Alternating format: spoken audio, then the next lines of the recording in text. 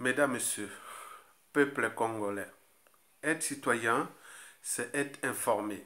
Et pourquoi? Parce que l'ignorance est la pire des souffrances. Le savoir et la connaissance vous libèrent. Pour info, historiquement, jusqu'à nos jours, Denis Sassou Nguesso n'a jamais été en bonne santé mentale depuis son enfance. Sinon, ça se saurait.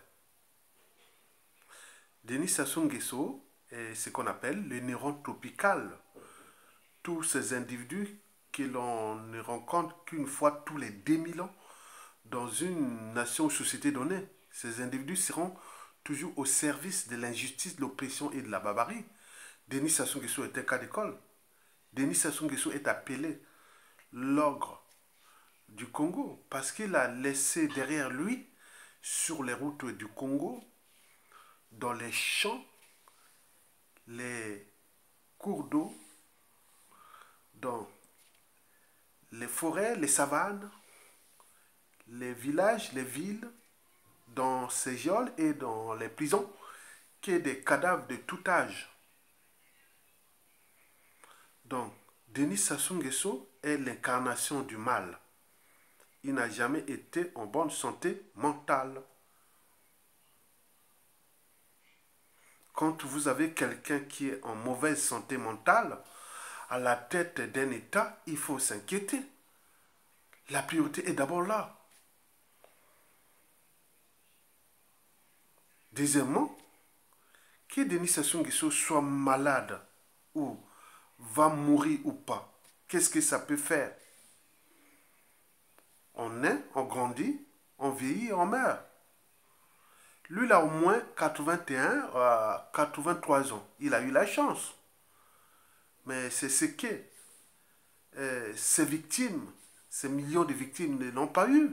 Commençons déjà par celui qui l'a fabriqué, Marie Ngwabi.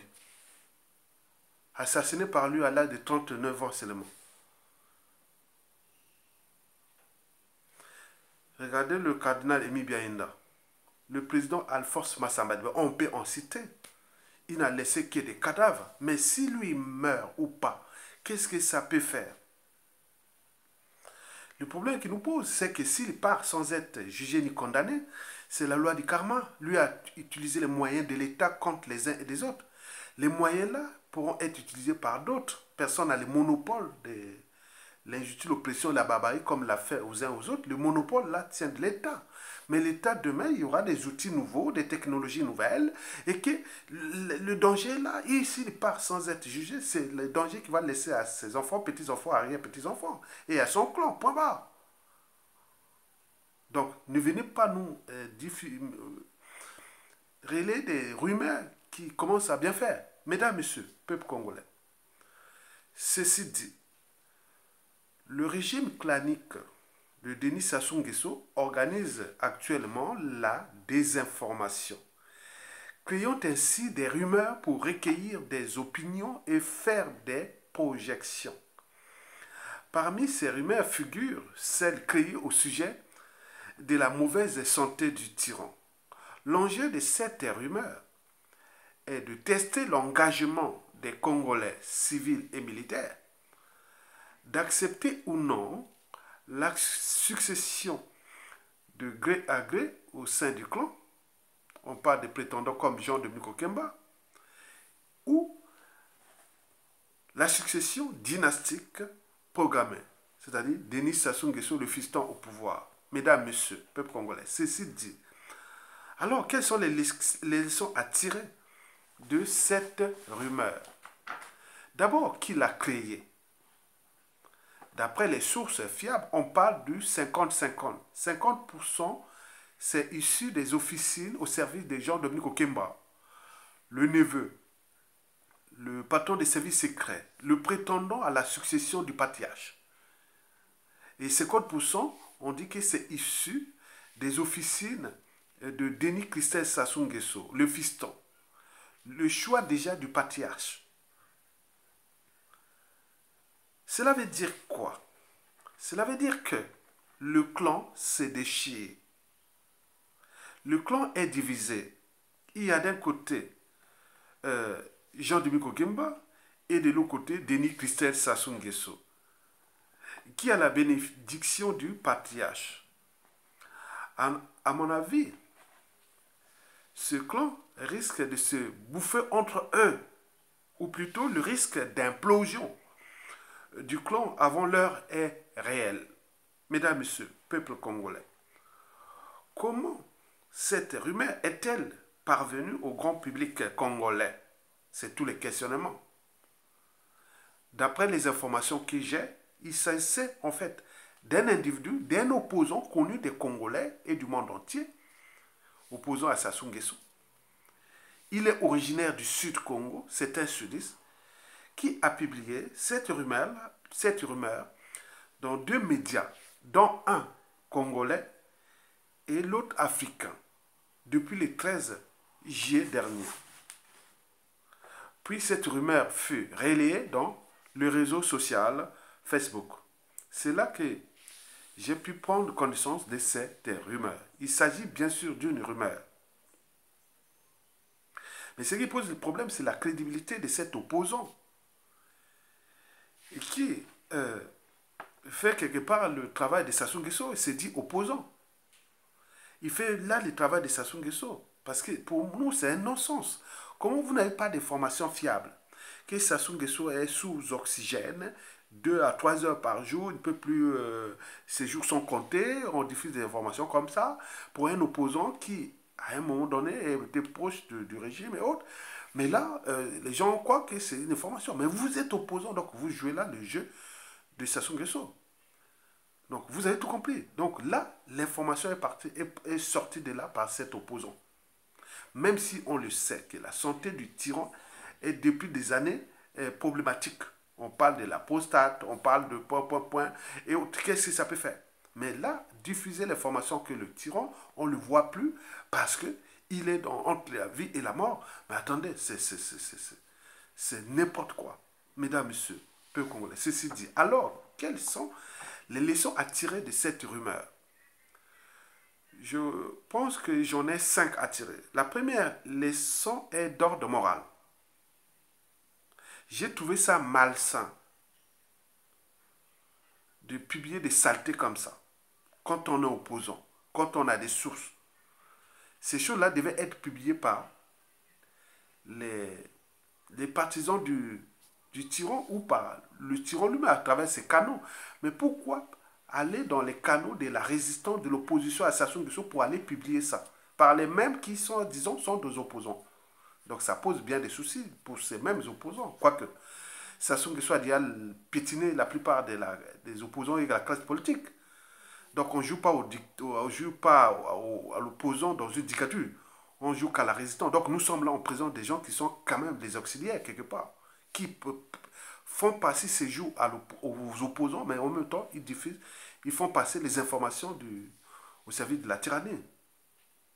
Donc le problème là, euh, la leçon à tirer est d'ordre moral. Donc cela veut dire que cette classe politique a encore des soucis. Et donc, le, la situation politique dans laquelle nous vivons est en partie la, les conséquences des, des mentalités, habitudes et comportements de cette classe politique. Et qui, malgré tout ce qui s'est passé depuis 2015 à nos jours, il continue à jouer à la même, au même cri, euh, au même jeu, au même double jeu avec la dictature. Donc il y a des soucis. Donc c'est un problème de conscience pour eux-mêmes. Mesdames messieurs, peuple congolais. Donc, cette première leçon est d'ordre moral. Que Sassou Nguesso crève ou pas, ça ça n'a rien à voir avec le peuple. C'est un non-événement. L'événement, c'est que s'il meurt sans être jugé ni condamné, donc vous voyez la loi du karma comme repère. Quelqu'un qui est venu briser des vies, des millions de vies. Souvenez-vous du président euh, Philbert Youlou, un jour ou l'autre, nous vous applaudirez un fou.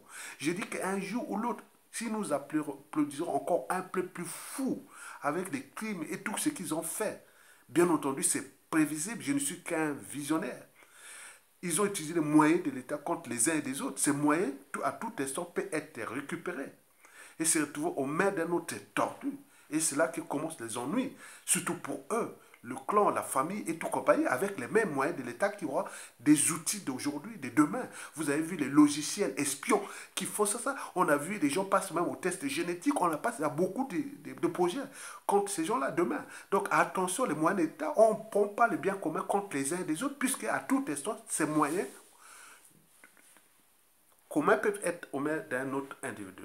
Et c'est là que commencent les problèmes. Étant donné qu'ils ont fabriqué beaucoup de victimes. Hein. 9 Congolais sur 10 sont des victimes de Sassou Nguesso, donc 9 euh, futurs bourreaux sur 10. Donc vous imaginez. Donc Sassou Nguesso crève ou pas, s'il ne règle pas cette problématique, passons par euh, qu'il soit arrêté, jugé et condamné et par, à travers une transition réparatrice et autres. Mais s'il n'y a pas de problème, le Congolais a existé avant Sassou, il existera après Sassou Nguesso. Mais dans 97% des cas, ça sera euh, euh, d'ici à la fin du siècle, euh, il y aura toujours des, anciennes victimes qui seront au pouvoir au Congo. Ça, il n'y a pas de souci. La deuxième leçon à tirer est celle du mode opératoire. Effectivement, un opposant qui passe par-ci par les médias qui en parlent et autres, même si c'est certains individus, on nous signale qu'on ne fait plus confiance à ce genre d'individus, mais il est passé, il est dans les médias, on, peut, on, peut, les inviter, passer les messages et autres, mais c'est pas qu'il joue un double jeu dangereux, puisque même après Sassou Nguesso, ce genre d'individu, on n'aura pas aussi de crédibilité, même Sassou Nguesso lui-même. Il a dit que cet individu ne pèse pas depuis l'étranger, il a dit, il doit reconnaître que, Sassou Nguesso dit, cet individu ne pèse pas. Donc ils peuvent s'agiter, faire leur truc là, mais il sait bien qu'il ne pèse pas. Donc beaucoup de gens ont compris qu'il joue aussi le jeu de Sassou Nguesso. Donc vous tout compris. Bon, donc c'est à lui de, de, prendre euh, conscience qu'il euh, joue un jeu très dangereux et qui risque de se retourner contre lui dans l'espace et le temps. Mesdames et messieurs, peuple congolais, la troisième leçon à tirer est d'ordre politique, effectivement. Sassou Nguesso a laminé cette classe politique. Euh, les Congolais n'ont plus d'espoir. Regardez ce qui s'est passé là, dès que ce soit du rumeur. Ce qui s'est passé, on n'entend plus la classe politique. On, parlait de, de, Non, non, c'est vraiment, c'est mort plat. C'est fini. Là, il a vraiment euh, euh, laminé la classe politique et qui est en train de jouer? Le jeu. Hein, euh, c'est un peu de tenter pour la succession parce que l'enjeu de Sassou Nguesso, c'est quoi? Un, mourir au pouvoir et être enterré avec les honneurs. Ça, c'est sûr et certain, il va y arriver au vu de la situation sociopolitique au Congo. Deux, transmettre ce pouvoir-là de gré à gré ou par la dynastie à un membre du clan ou à son fils. Et ça, il est dans, en phase de le faire, mais c'est là le piège. Donc, ça, je ne vais pas aller en détail. C'est le piège. Ils seront piégés. Je vous dis sincèrement. Je ne vais pas aller en détail. La quatrième et avant-dernière leçon à tirer est finalement au niveau du clan. Donc, on se rend compte que euh, le clan là a pris le Congo comme leur propriété privée. L'héritage qu'ils ont eu, ils sont en train d'organiser des choses entre eux. Donc, ils sont dans le clan, ils se divisent. Il y a un, une branche, non, on veut tel individu, l'autre dit non, il faut, faut les aérois là, il faut ceci, donc entre eux, ils sont là, ils gèrent là-bas comme Ils ne voient pas que la maison du Congo brûle, que le peuple a tous les derniers mots et les derniers jugements, que les couteaux sont tirés et qu'ils sont en train de rentrer dans leur propre piège. Ça, c'est le premier, euh, la quatrième et la dernière leçon à tirer au plan clanique. C'est-à-dire, eux, ils, sont euh, pris dans leur propre piège. Vaincre contre le peuple ou mourir. Vaincre, c'est-à-dire se préparer si ça meurt et il peut prendre le contrôle du pays. Mais il ne sait pas qu'il faut se méfier souvent des eaux dormantes parce que les eaux dormantes sont pleines de frontières. Et donc, vous avez tout compris. Donc, le peuple le sait déjà que ce régime est aux abois et qui cherche un moyen pour s'échapper à la justice du peuple. Et ils n'y échapperont pas. Donc, méfiez-vous du calme plat. Ils en ont abusé de ce peuple, de tout le monde. Et donc, dans l'une des vidéos que j'en ferai, comment Sassou Nguesso et les clans ont-ils piétiné le peuple congolais? Pour piétiner un peuple, un peuple il faut, il faut euh, le mettre hors d'état de nuit cinq piliers. Ce qu'ils ont fait, ils ont piétiné la raison de la classe intellectuelle, politique haute, la matière grise, le haut peuple, c'est-à-dire tous les cadres civils, politiques et militaires du nord au sud de l'est à l'ouest. Ils ont éliminé un à un. Techniquement, peut-être les logiciels, les espions là, ou autres, comme ils ont fait, je vous dis sincèrement, ce que Sassou a fait depuis le coup d'état sanglant Force Afrique de 1997 jusqu'à nos jours, je vous dis techniquement, c'est du jamais fait, c'est du hors pair. C'est un chef-d'œuvre de crime contre l'humanité. Donc il en a abusé. Donc les cinq piliers pour piétiner l'âme d'un peuple. Il faut un, il faut piétiner la raison. Que le peuple n'ait plus la capacité de douter, de réfléchir, de penser, de se structurer, de s'organiser et d'agir. Individuellement, les Congolais sont intelligents, mais collectivement, c'est bloqué. Parce qu'il y a tous ces mécanismes qu'ils ont mis ensemble pour la raison. Deuxième pilier pour bloquer un peuple ou pour euh, damer l'âme d'un peuple, le deuxième euh, pilier, utilisé par Sassou Nguesso, c'est quoi? C'est tout justement la liberté. La liberté, elle fait partie des premiers fondamentaux des droits de l'homme, de l'humanité. Sans liberté, on ne peut rien faire. Là, il a damé les pions sur la liberté. Le Congo est devenu une prison à ciel ouvert ou un camp de concentration. Là, il a travaillé avec les moyens de l'État et qui demain risque de se retourner contre eux. Ça, c'est sûr et certain. Troisième pilier pour damer l'âme d'un peuple, c'est tout justement sa dignité. Vous voyez que la plupart des cadres civils, politiques et militaires et tout ça se cristallise que sur les biens matériels. Donc ils ont perdu leur dignité. Quand le haut peuple a perdu sa dignité, la suite est logique.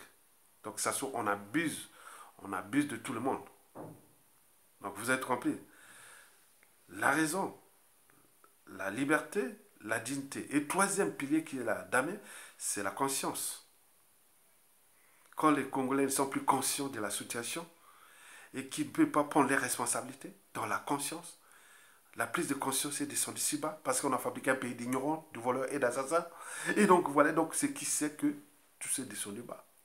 Le cinquième et dernier pilier pour damer l'âme d'un peuple, c'est le courage. Et là, Sassou Nguesso hein, euh, a des moyens de pression énormes contre le peuple congolais. Les moyens de pression vont déjà de l'achat de conscience des élites corrompues. Les moyens de pression passent par la violence, la terreur, la barbarie, et les crimes, les disparitions suspectes, les emprisonnements, la privation de citoyenneté, passeport, tout compagnie. Donc tous ces moyens de pression. Donc il fait peur. Et dans la peur, le peuple se soumet. Celui qui contrôle la peur d'un peuple, c'est fini. Il a, il a piétiné l'âme de ce peuple. Et donc, vous les connaissez, les cinq piliers que ce clan a fait du mal au peuple congolais. Un, il a piétiné la raison. Deux, la, la liberté. Trois, la dignité de ce peuple congolais. Quatre, la conscience. Et enfin, cinq, le courage. Mais ça, ça va rester de se retourner à tout instant. Parce que nous sommes là dans un volcan explosif, une bombe à retardement. Et donc, vous avez tout compris. Donc je suis là dans la chronique de la chute d'un tyran et qui, faut les savoir que la durée de vie d'une tyrannie est limitée. Et que le combat d'un tyran contre le peuple est comme celui de l'homme contre la nature. Il sera toujours perdu par l'homme. Parce que dans ce peuple, on ne sait pas qui est qui, quel tordu, quel haineux, quel revanchard, quel consensuel, quel ceci. D'où l'intérêt de poser ou de mettre toutes les conditions pour qu'on rentre dans une transition réparatrice vite. Mais si on s'y échappe, non, Sassou n'avait pas le monopole de ça. Donc nous avions en permanence, nous avons dans ce peuple des tordus qui attendent au moment venu. Avec le même moyen de l'État, avec les outils nouveaux, les technologies nouvelles, et donc tous ces moyens, donc là où ils vont avoir que désolation. Donc vous avez tout compris. Mesdames, Messieurs, donc le clan, quelque part, l'histoire tirée, c'est que ce clan est en difficulté. Donc il cherche les stratégies, les moyens pour transmettre ce pouvoir, quoi qu'ils vont y réussir. Jamais. Ça fut le néron tropical, il fut préparé depuis des années. Il est arrivé à l'apogée. Regarde comment il a euh, euh, surendetté pour rien ce pays, qu'il a ruiné et détruit. Tous les indicateurs macroéconomiques sont au rouge. Ce pays-là ne fonctionnera plus. Donc on va arriver dans la période de rupture. C'est un processus qui va jusqu'au bout. Mais s'ils ne prennent pas, n'anticipent pas, de libérer tous les prisonniers politiques, de mettre une commission ad hoc pour qu'on s'en sorte là par la commission, pour une transition réparatrice sans Sassou Nguesso, pour qu'on puisse gérer ça de manière euh, civilisée. À défaut, c'est les vainqueurs qui en feront, qui feront leur loi. Mesdames, Messieurs, c'est la raison pour laquelle je, vous dis que le clan euh, joue au, jeu du chat et de la souris. D'abord entre eux et avec le peuple. Entre eux, pourquoi? Parce qu'il y a d'un côté l'autre clan qui s'oppose, qui sort du jeu, donc ils sont en cache-cache entre eux. Jean de Okimba, qui, peut-être y aura un autre euh, qui va s'impliquer. Donc ça, on sait bien que le peuple les regarde comme ça jouer leur jeu. Quel jeu ils jouent avec le peuple? C'est c'est que eux, ils croient que le peuple a tout abandonné, jamais. Je vous l'ai dit que c'est du jamais vu. Depuis euh, l'indépendance de l'Afrique, où un peuple a été euh, envahi par cinq armées étrangères, du 5 juin au 15 octobre 1997, cinq pays, accompagnés par une grande puissance, la France. Il a organisé, envahi, ils sont venus se battre pendant cinq mois avec contre un peuple. La France, contre un seul pays, l'Allemagne, n'a même pas résisté au bout d'une de, semaine. Mais nous, cinq mois contre cinq puissants pays belliqués sont venus nous attaquer. Vous croyez que ce peuple-là, pour réparer ça, il y a des mémoires, il y a beaucoup de choses qui sont passées. Le traumatisme est tel que, il faut le savoir. Ça risque de se répéter quelque chose de, je ne sais pas, donc on ne sait pas. Je vous dis sincèrement. La chance que nous avions, c'est que le, le pouvoir est aux abois, à bout de souffle, à l'agonie, que tous les indicateurs macroéconomiques sont au rouge. On ne joue pas aux dictateurs sans argent. On ne joue pas aux dictateurs dans un climat de méfiance et défiance. On ne joue pas aux dictateurs quand la communauté internationale vous a tourné les dos. Et notamment ces bailleurs financiers et tout compagnie. Donc, la suite est logique. Mais, et ils cherchent à chercher tous les jeux et moyens. Mais après le jeu du chat et de la souris, vient toujours celui du gendarme et du voleur. Vous avez tout compris. Mesdames, et Messieurs, peuple congolais. La cinquième et la dernière leçon à tirer, c'est au niveau intellectuel.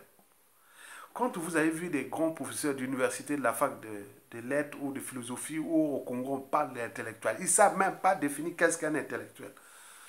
Mais la situation est là. Déjà, les rumeurs et tout ça, ils n'ont même pas pu nourrir les débats. Je vous l'ai dit que pour être intellectuel, il y a cinq critères. Un, le diplôme. Avoir minimum bac. Déjà, c'est que vous avez quand même déjà, au niveau cognitif, vous pourrez raisonner. Donc, le bac, minimum. Et maintenant, vous pouvez aller loin, ça dépend des spécialités et autres. Ça, c'est que les, plus. Bac.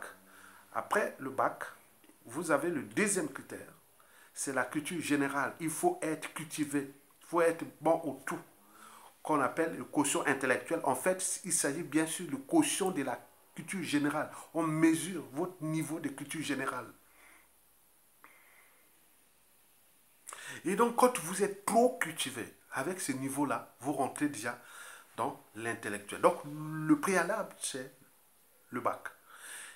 Et après, deuxième critère, euh, la culture générale. Et troisième critère, c'est avoir la grille d'analyse, de réflexion. Donc, de faire part de ses opinions, de ses analyses et de ses points de vue sur des sujets ou sur des problématiques et enjeux plus ou moins partagés. Et le quatrième critère, c'est l'engagement. Un intellectuel doit toujours être engagé. Regardez ce qui s'est passé au docteur Alex euh, Zabadan. et tous ces, bon, les, les, les, membres de la société civile, dont Dangui et tout compagnie qui ont emprisonné injustement. Les intellectuels devaient trouver une stratégie pour faire entendre euh, quelque chose qui, que, voilà. Mais venez participer à, la... À, vous voyez comment euh, Joe, Joe Ebina a, a. Ah non, mais c'est génial ce, ce petit-là. C'est génial. Bravo, bravo, bravo. Mais les intellectuels sont là. Donc, l'engagement, c'est important. Parce que quand vous êtes engagé, vous n'avez plus peur. Donc, la peur, c'est le manque d'engagement. Donc, comme les gens ne sont pas engagés, donc ils ont peur. Et donc, l'intellectuel n'a plus peur parce que, historiquement, les intellectuels ont payé un lourd tribut comparé aux diplômés. Quand vous avez 10 diplômés, 10 intellectuels, historiquement, dans les luttes, des combats, que ce soit des, les luttes sociales, euh, spirituelles, que ce soit les luttes politiques et autres, ce sont tous les intellectuels qui ont payé les lourds, les lourds tributs. Donc, l'intellectuel doit s'engager. Si vous n'êtes pas engagé, vous n'êtes pas intellectuel. Ce qui lui différencie, qui différencie d'ailleurs l'intellectuel du diplômé. L'intellectuel euh, euh, s'accapare de la sphère publique pour entendre ses savoirs et exprimer ses, ses idées, ses courants de pensée autres. Donc, premier critère, diplôme. Deuxième, la culture générale. Troisième, euh, l'esprit de synthèse. Quatrième, l'engagement. Et enfin, cinquième, ce sont des courants de pensée et des convictions. Donc, il y a des gens qui ont des convictions, euh, par exemple, comme sont des sécessionnistes, d'autres des indépendantistes, d'autres des panafricanistes, d'autres des communistes, d'autres des capitalistes, d'autres des écologistes, d'autres de, des nationalistes. De, il y a tous les courants de pensée. donc, un intellectuel peut être, par exemple, on, on, définit Ayatonga, c'est pas parce qu'il a, il a, il a, il est diplômé plus bac, plus 5. Non, c'est pas ça. Je diplôme, oui. Maintenant, après le diplôme, la culture générale, vous connaissez qui, qui est Ayatonga au niveau culture générale. Maintenant, troisième critère, au niveau euh, synthèse, c'est ce que je fais. Et quatrième critère, au niveau de l'engagement, je me suis engagé. Imaginez-vous dans les années 2000, sur la place de Paris. C'était nord-sud, mais qui a scindé? Le nord et le sud, qui a scindé ça? C'est ça, c'est erreurs de tous ceux qui ont commencé depuis le coup d'État sanglant, qui ont joué ce jeu-là. Je suis rentré dans cette sphère-là par l'engagement, par le terrain. Et on m'a dit, ah, nordiste, nordiste, il y a, y a on est sur terre, on faisait tout ce contre moi. Moi, je suis rentré techniquement avec l'espérance que j'ai de la, du militantisme et de la classe politique et autres. Donc, j'ai géré ça positivement. On est arrivé jusqu'aux assises. Toute la diaspora congolaise de France était collée, unie. C'est en partie, c'est nous. On le sait, Ayatonga. Personne ne peut me contester. J'ai joué techniquement jusqu'aux assises et jusqu'à nos jours. Ça, c'est ce qu'on appelle l'engagement. Donc, je suis positionné vers le consensus, vers l'unité du Congo, qui était, qui, était, qui était combat. Le combat est permanent. L'idéal d'une nation, c'est le combat permanent. L'idéal de vivre ensemble, l'idéal de construire quelque chose ensemble, c'était un combat. Donc, c'est, il faut l'engagement. L'engagement, c'est ce que je fais. Maintenant, au niveau conviction, vous pouvez savoir. Hein. Ayatonga, hein, oui, est un intellectuel qui est, euh, positionné. Euh, écologiste, oui, écologiste à 100%. C'est pas parce que je suis né à Brazzaville, je suis parti au village à l'équateur, à, à Makwa, hein, à la ville, tribu située à cheval sur l'équateur, entre l'entrée de la jungle et la savane. J'ai vécu là-bas, donc je pouvais être dans la forêt, dans la jungle et tout. J'ai fait tout ça. Donc c'est pas parce que ça. Mais je suis écologiste parce que c'est un état d'esprit. Et donc, voilà. Donc, ça, on peut aller dans ce courant. Donc, on sait que, ah, tiens, si je vais, euh, les problématiques du Congo, si on touche les problématiques écologiques, ça, c'est Ayatonga peut être calé. Mais quand on, touche les problématiques de la vulgarisation de la culture euh, scientifique ou autre, il est là. Si on touche. Donc, ça, c'est l'intellectuel. Moi, je n'ai pas besoin de que les choses soient cachées. Il faut que le savoir soit partagé. Le combat soit partagé. Donc, vous devez laquer. Donc, ceux qui viennent jouer à la mauvaise foi, c'est-à-dire la meilleure foi, derrière la mauvaise foi, c'est quoi? C'est la méchanceté, la jalousie, la guerre des égaux. Ça, ça n'a pas marché. Donc, moi, je dois avoir des gens qui doivent aller dans ce sens-là, que quand vous êtes intellectuel, vous devez prendre votre part des responsabilités et s'engager. Ne pas se cacher, soit disant que pour être intellectuel, il faut être diplômé. Non, c'est pas que ça. Il y a beaucoup de critères. Et donc, quand vous montez l'échelle des critères, vous, vous devenez de plus en plus intellectuel. Donc, on commence la base, le diplôme maximum, minimum bac. Après, on monte à l'échelle pour être de plus en plus intellectuel. Après, culture générale. La grille d'analyse, l'engagement et ses convictions. Et ces convictions vont gouverner votre, toute votre existence. Ce que j'ai défini moi, l'existentialisme. Mesdames, Messieurs, likez et à bientôt. Et bon vent au peuple congolais.